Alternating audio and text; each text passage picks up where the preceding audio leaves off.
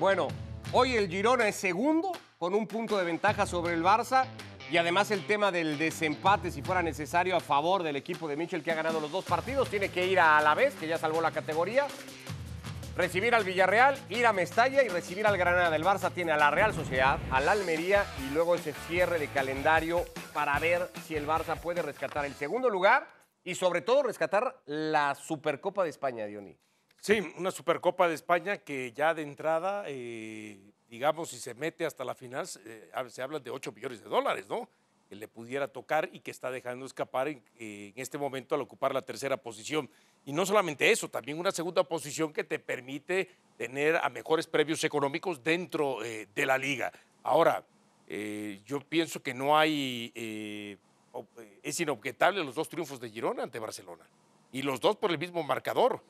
En ese, eh, eh, en ese aspecto. Creo que si hoy tenemos que establecer quién merece más esa segunda posición, da la impresión que es Girona de Michel. Ahora es raro esto que dice Diony, por lo menos raro, Fer, si partiéramos del juicio de Xavi, porque entre las muchas cosas que ha vuelto a decir Xavi partido dijo, por ejemplo, que los cuatro partidos ante sus rivales directos que hoy están encima de la clasificación, en los cuatro fue mejor el Barça. Según Xavi Hernández, ¿lo viste igual, sobre todo ayer? Se ha popularizado esto de cada cuestión que dice Xavi tratar de ver de qué manera se le pega como si fuese una piñata, ¿no? Entonces es popular ahora, después de esta declaración, decir que Xavi está loco y que ve los partidos desde, una, desde un prisma eh, paralelo, desde una realidad alternativa.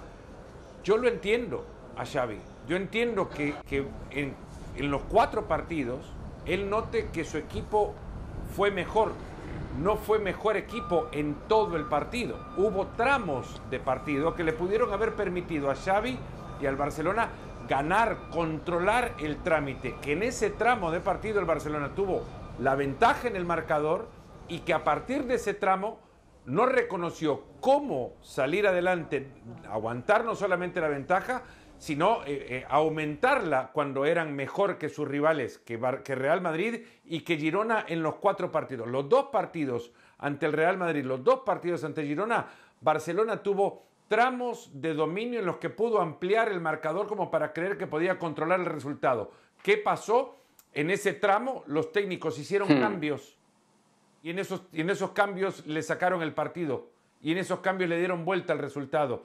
Y ahí, en 30 minutos, le cambiaron totalmente el rumbo al, marcador y se terminaron quedando con la victoria. Pero entiendo que Xavi crea, y, sé por qué lo dice, que su equipo fue superior a estos dos equipos en los cuatro partidos que le enfrentaron en, en la liga, pero fue por tramos de los partidos. Ahora, esos tramos luego los lleva a decir que fueron mejores y que pudieron haberle ganado y que por circunstancias, etcétera, etcétera. Bueno, las circunstancias fueron que, como eh, el sábado, un técnico como Mitchell le hace cambios que le, sacan el control y le desordenan totalmente y de ahí no se puede, no puede salir el Barça. Y Xavi no los pudo sacar.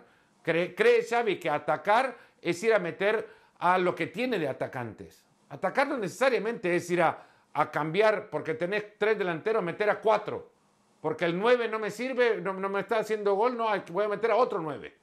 No, generalmente el, el cambio para modificar verdaderamente el rumbo de un partido viene desde atrás. Y eso Xavi no lo pudo hacer. Lo curioso es que tú piensas que fuiste mejor en cuatro partidos, pero los cuatro lo perdiste. Los perdiste, los cuatro. O sea, ni siquiera eh, estamos hablando de que empate, no, los perdiste. Por dos goles contra el Girón en ambos y por un gol contra el Madrid en ambos. Me condiciona un poco esto de Fer, porque yo no es que quiera pegarle a Xavi como una piñata, pero sí necesita motivar al equipo de aquí al final de temporada, Alex. ¿Podría considerar volver a renunciar al cargo para eso? ¿También que le funcionó la primera vez? No, no, no, hombre, nada más pero que no se note. Sería lo último ya que, quedaría en esta temporada de, reality show. Siempre, eh, hasta hace unos meses, siempre decía que las Kardashian del fútbol europeo era el Paris Saint Germain, pero este también es un buen reality. Este es un Real Housewives of Barcelona. ¿eh? Es increíble lo que, lo que están haciendo. No, a ver, una vez que dicen que ella se queda, se tendría que quedar, porque esta improvisación constante del Barça aunque acabe tercero, en algún momento.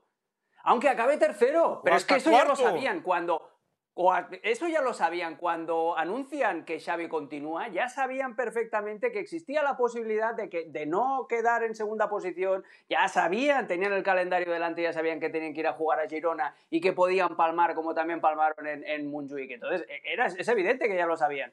Pero eh, yo estoy mucho con lo que ha dicho Fer. O sea, el, el problema no es que Xavi no tenga razón en decir que entramos de partido fueran superiores a- al Real Madrid y al Girona. El problema es que siempre, a partir del minuto 60, que es cuando los entrenadores hacen los cambios, el Madrid, el día del, del clásico en Montjuic, entra Camavinga y se le cae el invento a Xavi, porque no tiene respuesta y cuando quiere responder ya es demasiado tarde. Y le pasó lo mismo con ese doble movimiento que hemos dicho. Entra Couto y entra Portu en la banda derecha y el Barça se cae. Entonces, esa es la, eso es el problema de Xavi. Pero esto no va a cambiar, o sea, da igual. ¿sí? El problema del Barça es que es el mago de Oz.